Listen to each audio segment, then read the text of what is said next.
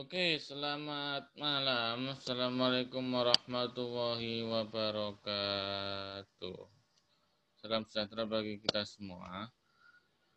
Ini ada yang konsultasi masalah laporan PKL 4. Jadi kalian yang anak bimbingnya Bapak, mohon diperhatikan dan secara langsung dibenarkan laporannya yang punya kalian itu yang kalian pegang.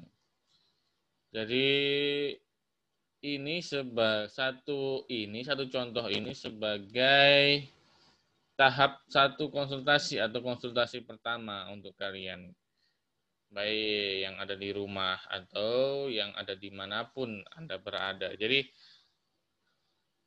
satu ini Bapak akan coba menerangkan secara baik dan benar secara rinci sehingga semua terformat, terfokus secara rapi dan benar.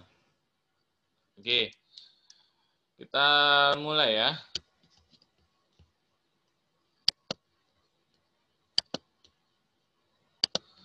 Oke, teknik pembesaran ikan sembilang. Nah, untuk nama latinnya ini ditulis yang lengkap. Ditulis yang lengkap. Kemudian penulisan nama latin itu awalnya huruf besar, kemudian huruf kecil, sampai genus. Seperti itu.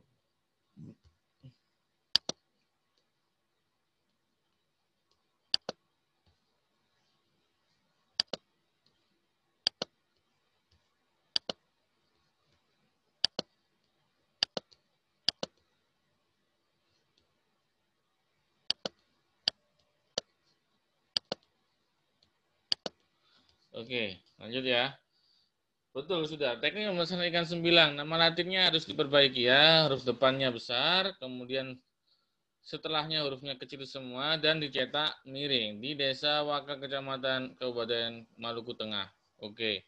Semua harus seperti itu. Jadi nama ikan apa ikannya apa? Kerapu macan, misalnya kerapu macan. Jadi kerapu macan itu apa? Epinepelus apa?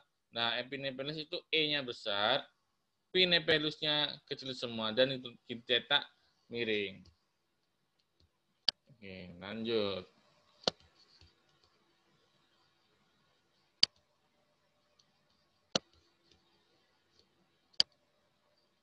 Lanjut ya.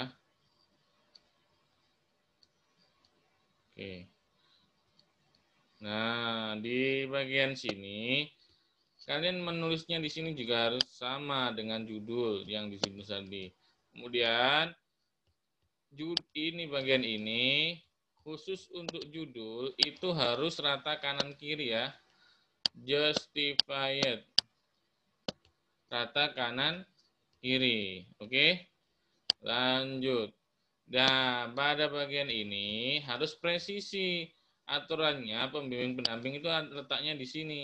Sehingga ukurannya jarak antara tepi kanan dan tepi kiri ini seimbang agar rapi. Kalau seperti ini jadi tidak di tengah-tengah yang kosong tapi ada space kosong di sebelah sini.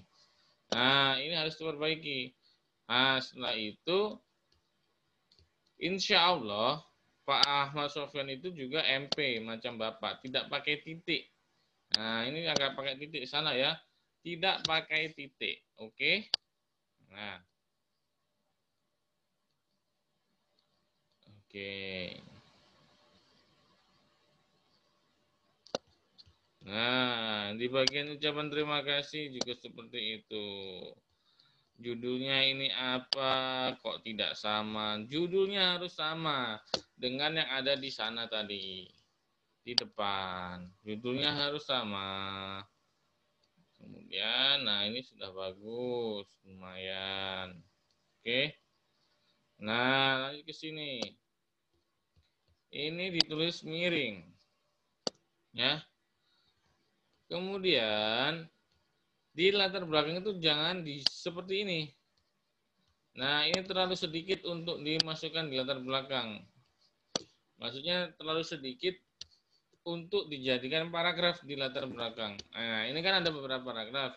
Nah, ini bisa kalian gabung di sini kan gabung di sini antara ini dengan ini. Nah, oke okay, ini boleh, nggak apa-apa. Tapi ini nanti digabung ya, di merger, dijadikan satu. Wah, ngebangun laut merupakan sabun meningkatkan musik dan Nah, di sini ini itu harus ada yang namanya literatur. Misalnya di sini ini, ini punya siapa? Kedalaman menjadi salah satu faktor. Nah, ini punya siapa? Literaturnya. Kalau ini oke okay, menurut Sari. Tapi yang depan tadi untuk menurut siapa? Seperti itu ya. Jadi tidak asal comot mencomot. Ada, jangan begini, jangan ada pun. Hilangin kata-kata ada pun. Jadi tujuan praktek Nah, ini adalah untuk mengenai teknik sembilan pada karamang jaring apung di mana? Nah, harus ada nama latinnya di sini karena di judul tadi sudah ada nama latin ya. Ah, dikasih nama latinnya. Pada karamba jarang jaring apung di mana? Harus lengkap tujuanmu. Nah, kalau begini ambigu antara tujuan dengan judul tidak sama. Hal-hal seperti ini harus segera dihindari karena kalian sudah PKL 4. Artinya kalian sebentar lagi akan KPA. Jadi tujuan harus sama dengan judul. Ketika judulmu itu di sana, tujuanmu juga harus di sana. Kalau begini, di mana di mana matchingnya antara judul dengan si tujuan ini?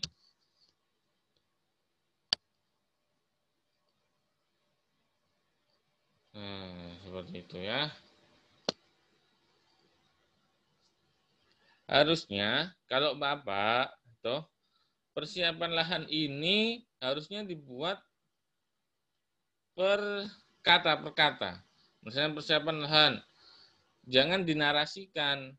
Nah, narasinya persiapan lahan ini ada di pembahasan. Tapi di sini itu hanya poinnya persiapan lahan apa yang di situ dilakukan. Persiapan lahan yang kami lakukan pada Karama Jaring Apung yaitu dengan membersihkan jaring dan juga mengangkat sampah.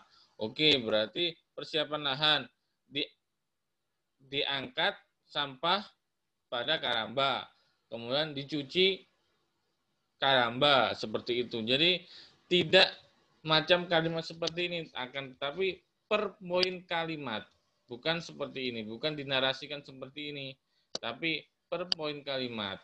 Oke. Nah, persiapan benih sebelum memilih di benih ini apa ini? Ini benih ya.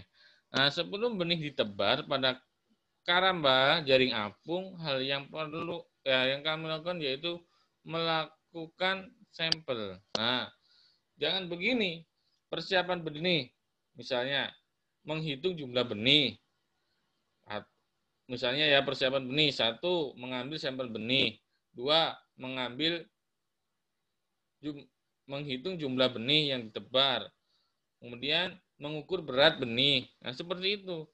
Jadi yang di sini di, di prosedur kerja itu adalah tahapan-tahapan kerja, bukan seperti ini ini narasinya. Narasinya itu harusnya ada di pembahasan. Ingat ya, per poin kerja. Misalnya persiapan benih. Yang pertama seleksi benih. Yang kedua menimbang benih. Yang ketiga mengukur benih. Yang keempat menebar benih. Begitu toh? Nah, seperti itu dan seterusnya di pemberian pakan, pertumbuhan, kualitas air, penanganan hal penyakit, panen dan sebagainya. Semuanya seperti itu. Nah, kemudian ini harus justified. Nah, kemudian kata per kata itu harus dirapikan.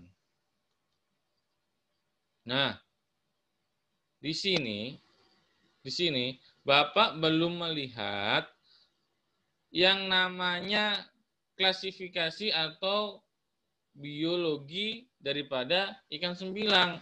Ikan sembilangnya ini macamnya seperti apa sih bentuknya? Nah, nggak ada di sini. Nah, kalian harus punya seperti itu. Tetap harus ada yang yang dinamakan dengan biologi biota atau biologi ikan sembilang. Langsung aja seperti itu. Jadi kalau ambil ikan kerapu ya biologi ikan kerapu. Nah, seperti itu. Persiapan lahan. Nah, di sini ada persiapan lahan. Kenapa di sini ini lahan apa persiapan media budidaya? Nah, harus dibedakan ya. Persiapan lahan dengan media budidaya itu berbeda. Lahan itu tempat budidaya ikan.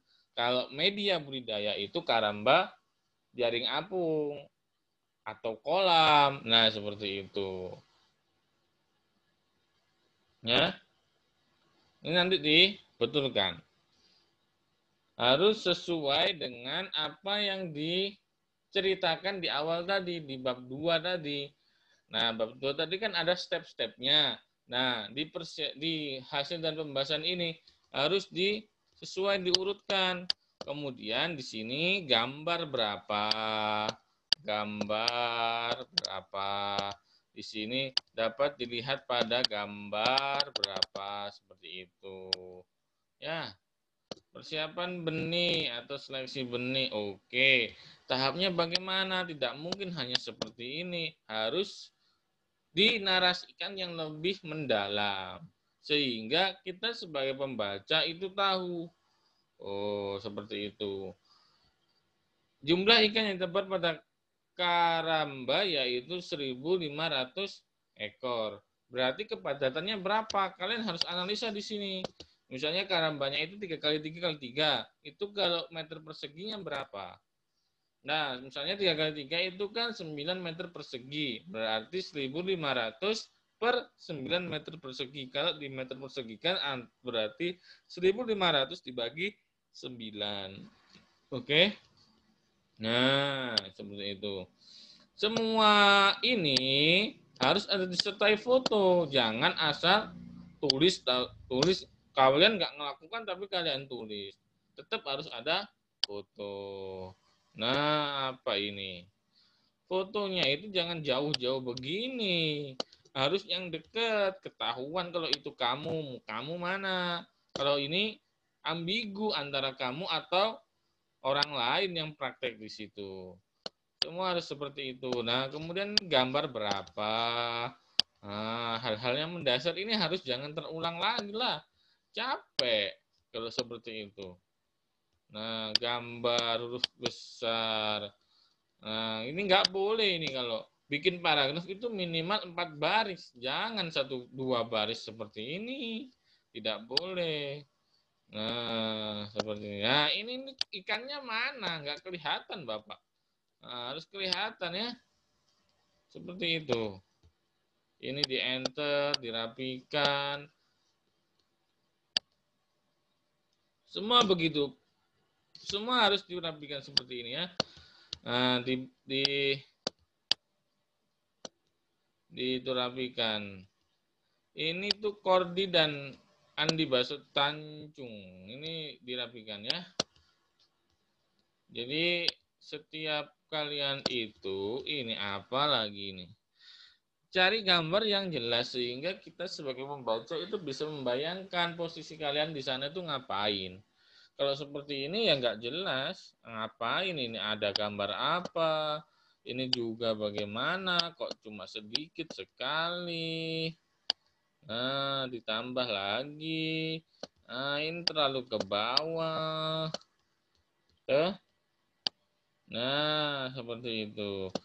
Jangan ambil kesimpulan. Kesimpulan itu menjawab tujuan. Tujuanmu apa, kesimpulannya apa.